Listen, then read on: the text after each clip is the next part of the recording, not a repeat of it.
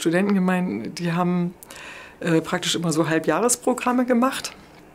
Äh, und die waren darauf gerichtet, so die Defizite der kulturellen Bildung äh, die es in der DDR ja zuhauf gab, auszugleichen. Es gab also Vorträge über Kunst, über Literatur, über Psychologie, ähm, äh, Philosophie, ähm, ganz breites Spektrum.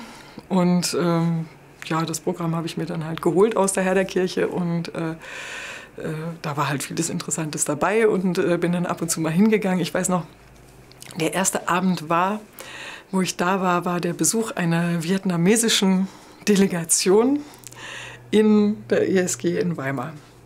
Und da saßen dann also diese vietnamesischen Christen mit ihren Aufpassern da äh, auf der Seite und ähm, äh, es wurde versucht, irgendwie ein Gespräch in Gang zu bringen. Das war wirklich schwierig, weil die Vietnamesen hatten einen Dolmetscher dabei, der vom Vietnamesischen ins Englische übersetzte. Und dann gab es noch einen Dolmetscher, der das dann wieder vom Englischen ins Deutsche übersetzte. Also es ging immer über zwei Stufen und es war ein sehr mühsames Gespräch. Und die Leute, die da vorne saßen, die waren auch so, so klein und zusammengeschrumpft und verängstigt. Ähm, also es war auch eine anrührende Situation, aber irgendwie so mit meinem ethischen Überschuss wollte ich da auch irgendwie das Gespräch wirklich in Gang bringen und, und habe sie gefragt, ähm, wie sie umgehen mit diesem Phänomen, äh, dass nach diesem schlimmen Vietnamkrieg ähm, so viel Gewalt in der Gesellschaft ist und äh, äh, ob es irgendwelche Möglichkeiten gibt, das zu verarbeiten. Und ähm, als die Frage dann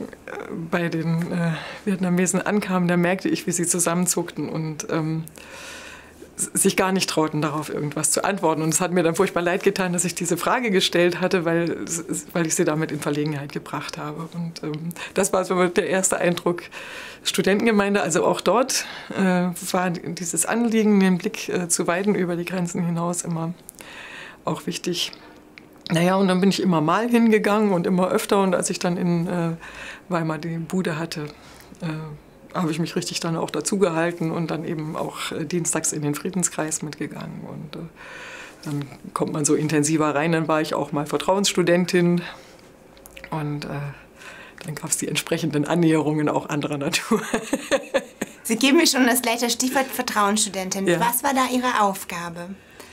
Also die Vertrauensstudenten hatten ganz praktische Aufgaben. Wir mussten dafür sorgen, dass rechtzeitig aufgeschlossen war, dass äh, organisiert war, wer das Abendbrot äh, richtet. Ähm, äh, ja, dass die organisatorischen Fragen klappten, also Referenten vom Bahnhof abgeholt wurden, äh, was alles zu tun war. Äh, aber natürlich äh, hatten wir dann auch diese, so eine kleine Vorbereitungsgruppe wo wir uns über das Programm des nächsten Halbjahres äh, Gedanken gemacht haben, wo wir also auch über die inhaltliche Ausrichtung dann äh, gesprochen haben. Das war so die, die, wesentliche Funktion, also so organisieren und vordenken.